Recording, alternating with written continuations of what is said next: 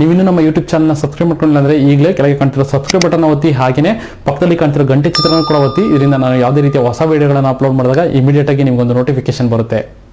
Hello friends ನಾನು ನಿಮ್ಮ Anantharam from technical Anant YouTube channel friends ಇವತ್ತಿನ ವಿಡಿಯೋದಲ್ಲಿ ನೀವು ನಿಮ್ಮ ಮೊಬೈಲ್ ಇಂಟರ್ನಲ್ ಸ್ಟೋರೇಜ್ ಅನ್ನ ಫುಲ್ ಆಗೋದನ್ನ ಹೇಗೆ ತಡೆಗಟ್ಟಬಹುದು ಅಂತ ಸಂಪೂರ್ಣವಾದ ಮಾಹಿತಿಯನ್ನು ತಿಳಿಸ್ಕೊಡ್ತೀನಿ. ಸೊ ಕೆಲವೊಂದ್ಸಲಿ ನೀವು ಯಾವುದೇ ಒಂದು ಆ್ಯಪ್ಗಳನ್ನು ಇನ್ಸ್ಟಾಲ್ ಮಾಡಿದರೆ ಅಥವಾ ಯಾವುದೇ ಒಂದು ಎರಡು ವೀಡಿಯೋಗಳನ್ನು ನಿಮ್ಮ ಮೊಬೈಲಲ್ಲಿ ಇನ್ಸ್ಟಾಲ್ ಮಾಡಿದ ತಕ್ಷಣ ನಿಮ್ಮ ಇಂಟರ್ನಲ್ ಸ್ಟೋರೇಜ್ ಫುಲ್ ಅಂತ ಬರುತ್ತೆ. ಸೊ ಅಂತಹದನ್ನು ನೀವು ಹೇಗೆ ತಡೆಗಟ್ಟಬಹುದು? ಹಾಗೆಯೇ ನಿಮ್ಮ ಮೊಬೈಲಲ್ಲಿರೋ ಎಷ್ಟೊಂದು ಕ್ಯಾಶ್ ಡೇಟಾಗಳಾಗಿರ್ಬೋದು ಅಥವಾ ಅನ್ವಾಂಟೆಡ್ ಫೈಲ್ಸ್ಗಳನ್ನು ಡಿಲೀಟ್ ಮಾಡೋ ಮುಖಾಂತರ ಹೇಗೆ ನಿಮ್ಮ ಇಂಟರ್ನಲ್ ಸ್ಟೋರೇಜ್ ಸ್ಪೇಸನ್ನು ತುಂಬಾ ಉಳಿಸಬಹುದು ಅನ್ನೋದ್ರ ಬಗ್ಗೆ ಸಂಪೂರ್ಣವಾದ ಮಾಹಿತಿನ ತಿಳಿಸ್ಕೊಳ್ತೀನಿ ಅದಕ್ಕಿಂತ ಮುಂಚೆ ಇದು ನಮ್ಮ ಯೂಟ್ಯೂಬ್ ಚಾನಲ್ ಟೆಕ್ನಿಕಲ್ ಅಂತ. ಇದುವರೆಗೂ ನೀವು ನಮ್ಮ ಯೂಟ್ಯೂಬ್ ಚಾನಲ್ನ ಸಬ್ಸ್ಕ್ರೈಬ್ ಮಾಡ್ಕೊಂಡಿಲ್ಲ ಅಂದ್ರೆ ಈಗಲೇ ಕೆಳಗೆ ಕಾಣ್ತಿರೋ ಕೆಂಪು ಬಟನ್ ಒತ್ತಿ ನಮ್ಮ ಯೂಟ್ಯೂಬ್ ಚಾನಲ್ನ ಫ್ರೀಯಾಗಿ ಸಬ್ಸ್ಕ್ರೈಬ್ ಮಾಡ್ಕೋಬಹುದು. ಹಾಗೇನೆ ಪಕ್ಕದಲ್ಲಿ ಕಾಣ್ತಿರೋ ಬೆಲ್ ಬಟನ್ ಕೂಡ ಒತ್ತಿ. ಇದರಿಂದ ನಾನು ಯಾವುದೇ ರೀತಿಯ ಹೊಸ ವಿಡಿಯೋಗಳನ್ನು ಅಪ್ಲೋಡ್ ಮಾಡಿದಾಗ ಇಮಿಡಿಯೇಟ್ ಆಗಿ ನಿಮ್ಗೊಂದು ನೋಟಿಫಿಕೇಶನ್ ಬರುತ್ತೆ ಅಂತ ಹೇಳ್ತಾ ಇವತ್ತಿನ ಸಂಚಿಕೆಯನ್ನ ಶುರು ಮಾಡ್ತಾ ಇದ್ದೀನಿ. ಓಕೆ ಫ್ರೆಂಡ್ಸ್ ಈಗ ನನ್ನ ಮೊಬೈಲ್ ಸ್ಕ್ರೀನ್ ನಿಮಗೆ ಪಕ್ಕ ಕಾಣಿಸ್ತಾ ಇದೆ ಅನ್ಕೋತೀನಿ. ಫ್ರೆಂಡ್ಸ್ ನಿಮ್ಮ ಮೊಬೈಲ್ ಇಂಟರ್ನಲ್ ಸ್ಟೋರೇಜ್ ಯಾವಾಗಲೂ ಫುಲ್ ಆಗಬಾರ್ದು, ಅದು ಯಾವಾಗಲೂ ಖಾಲಿ ಉಳ್ಕೋಬೇಕು ಅಂದರೆ ಕೆಲವೊಂದು ಇಂಪಾರ್ಟೆಂಟ್ ಸೆಟ್ಟಿಂಗ್ಸನ್ನು ನಿಮ್ಮ ಮೊಬೈಲಲ್ಲಿ ಮಾಡಬೇಕಾಗುತ್ತೆ. ಅದಕ್ಕೆ ಮೊದಲಿಗೆ ನೀವು ನಿಮ್ಮ ಸೆಟ್ಟಿಂಗ್ಸನ್ನು ಆಪ್ಷನ್ಗೆ ಹೋಗಬೇಕಾಗುತ್ತೆ. ಸೊ ಈಗ ನಾನು ಇಲ್ಲಿ ನನ್ನ ಸೆಟ್ಟಿಂಗ್ಸ್ ಅನ್ನೋ ಆಪ್ಷನ್ಗೆ ಹೋಗ್ತಾ ಇದ್ದೀನಿ. ನಂತರ ಕೆಳಗಡೆ ಬಂದ್ರೆ ನಿಮಗೆ ಇಲ್ಲಿ ಒಂದು ಸ್ಟೋರೇಜ್ ಅನ್ನೋ ಆಪ್ಷನ್ ಇರುತ್ತೆ. ಸೊ ಬೇರೆ ಬೇರೆ ಮೊಬೈಲ್ ಅಲ್ಲಿ ಈ ಸ್ಟೋರೇಜ್ ಅನ್ನೋ ಆಪ್ಷನ್ ಬೇರೆ ಬೇರೆ ಕಡೆ ಲೊಕೇಟ್ ಆಗಿರುತ್ತೆ. ಸೊ ಎಲ್ಲ ಮೊಬೈಲಲ್ಲೂ ಸ್ಟೋರೇಜ್ ಆಪ್ಷನ್ ಇದ್ದೇ ಇರುತ್ತೆ. ಸೊ ನಿಮ್ಮ ಯಾವ ಮೊಬೈಲ್ ಅಂತ ನೋಡಿಕೊಂಡು ಅದರಲ್ಲಿ ಸ್ಟೋರೇಜ್ ಆಪ್ಷನ್ ಹುಡ್ಕೊಳ್ಳಿ. ಸೊ ಇದರಲ್ಲಿ ಸ್ಟೋರೇಜ್ ಆಪ್ಷನ್ಗೆ ಬಂದ್ರೆ ನೀವು ನೋಡಬಹುದು ಟೋಟಲ್ ಇದರಲ್ಲಿ ಸಿಕ್ಸ್ಟೀನ್ ಜಿ ಬಿ ನನ್ನ ಟೋಟಲ್ ಇಂಟರ್ನಲ್ ಸ್ಟೋರೇಜ್ ಇರೋದು. ಅದರಲ್ಲಿ ಈಗಾಗಲೇ ಇಲ್ಲಿ ನೀವು ನೋಡ್ಬೋದು ಬೇರೆ ಬೇರೆ ಸಿಸ್ಟಮ್ ಮೆಮೊರಿ ಹಾಗೆಯೇ ಯೂಸರ್ ಸ್ಪೇಸು ಮತ್ತು ಕ್ಯಾಶೆಡ್ ಡಾಟಾ ಮತ್ತು ಮಿಸಲೇನಿಯಸ್ ಫೈಲ್ಸು ಈಗ ಕ್ಯಾಲ್ಕುಲೇಟ್ ಆಗ್ತಿದೆ. ಇದನ್ನು ಕ್ಯಾಲ್ಕುಲೇಟ್ ಆದ ತಕ್ಷಣ ಹೇಗೆ ಫ್ರೀ ಮಾಡೋದು ಅಂತ ತೋರಿಸ್ತೀನಿ. ಫ್ರೆಂಡ್ಸ್ ಈಗ ಇಲ್ಲಿ ನೀವು ನೋಡ್ಬೋದು ನನ್ನ ಮೊಬೈಲ್ ಇಂಟರ್ನಲ್ ಸ್ಟೋರೇಜ್ ಈಗಾಗಲೇ ಕ್ಯಾಲ್ಕುಲೇಟ್ ಆಗಿದೆ. ಅದರಲ್ಲಿ ನಿಮಗೆ total space sixteen G B ಇರೋದು ಇಂಟರ್ನಲ್ ಮೆಮೊರಿ ಇರೋದು ಹಾಗೆಯೇ available space one point seven six G B ಇದೆ. ಹಾಗೆಯೇ system memory four point one eight G B user space seven point five three G B ಮತ್ತೆ cache data one point twenty G B ಹಾಗೆಯೇ miscellaneous one point three three G B ಇದೆ.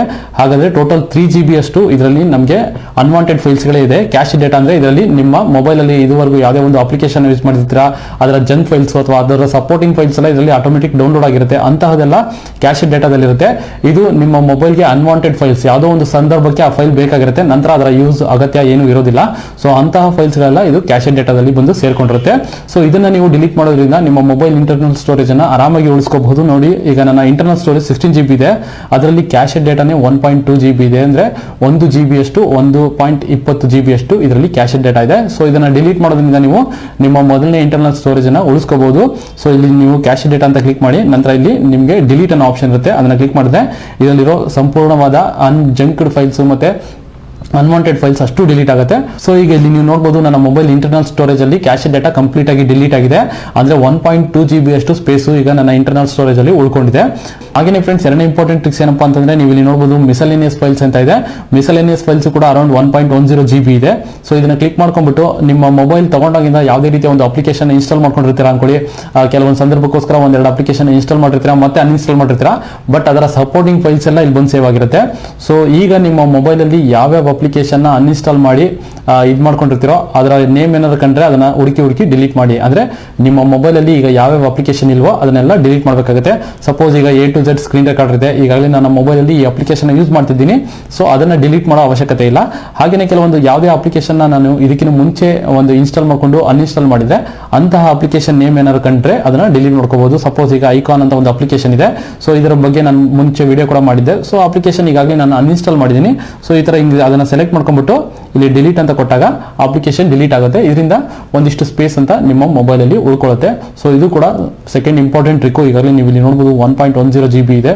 So ಇಷ್ಟು one G B ಅಂತಂದರೆ maximum ಆಯಿತು. So ಇಷ್ಟು G ಬಿನ ಕೂಡ ನೀವು ಖಾಲಿ ಮಾಡ್ಕೊಳ್ಳೋದ್ರಿಂದ ನಿಮ್ಮ ಮೊಬೈಲ್ ಇಂಟರ್ನಲ್ ಸ್ಟೋರೇಜು ಈಸಿಯಾಗಿ ಉಳ್ಕೊಳ್ಳುತ್ತೆ. ಹಾಗೇನೆ ಫ್ರೆಂಡ್ಸ್ ಮೂರನೇ ಇಂಪಾರ್ಟೆಂಟ್ ಟ್ರಿಕ್ಸ್ಗೆ ಬರೋದಾದ್ರೆ ನೀವು ಇಲ್ಲಿ ನಿಮ್ಮ ಮೈ ಫೈಲ್ಸ್ಗೆ ಹೋಗಬೇಕಾಗುತ್ತೆ. ನಾನು ನನ್ನ ಮೊಬೈಲಲ್ಲಿ ಮೈ ಫೈಲ್ಸ್ಗೆ ಹೋಗ್ತಾ ಇದ್ದೀನಿ. ಸೊ ಈ ಮೈ ಫೈಲ್ಸ್ ಅಲ್ಲಿ ಆಪ್ಷನ್ಗಳು ಬೇರೆ ಬೇರೆ ಮೊಬೈಲ್ ಅಲ್ಲಿ ಬೇರೆ ಬೇರೆ ತರ ಇರ್ತವೆ. ಸಪೋಸ್ ರೆಡ್ಮಿ ಆಗಿರ್ಬೋದು ಅಥವಾ ಒಪ್ಪೋ ವಿವೋಗಳಲ್ಲೆಲ್ಲ ಬೇರೆ ತರ ಆಪ್ಷನ್ ಇರುತ್ತೆ. ಸೊ ಬಟ್ ಎಲ್ಲಾ ಮೊಬೈಲ್ಗಳಲ್ಲೂ ಆ ಆಪ್ಷನ್ ಇದೇ ಇರುತ್ತೆ. ಸಪೋಸ್ ಇಲ್ಲಿ ನೀವು ನೋಡಬಹುದು ಸ್ಯಾಮ್ಸಂಗ್ ಅಲ್ಲಿ images video audio documents download history ಎಲ್ಲ ಆಪ್ಷನ್ಗಳಿದಾವೆ ಅದೇ ತರ ನಿಮ್ಮ ಬೇರೆ ಯಾವುದೇ ಒಂದು ಹ್ಯಾಂಡ್ ಸೆಟ್ ಆಗಿರ್ಬೋದು, ಅದರಲ್ಲೂ ಕೂಡ ಆಪ್ಷನ್ ಇರುತ್ತೆ. ಸೊ ನೀವು ಇದರಲ್ಲಿ ಸರ್ಚ್ ಅಲ್ಲಿ ಏನ್ ಮಾಡ್ಬೇಕಂದ್ರೆ ಎ ಪಿ ಕೆ ಅಂತ ಟೈಪ್ ಮಾಡಬೇಕಾಗುತ್ತೆ.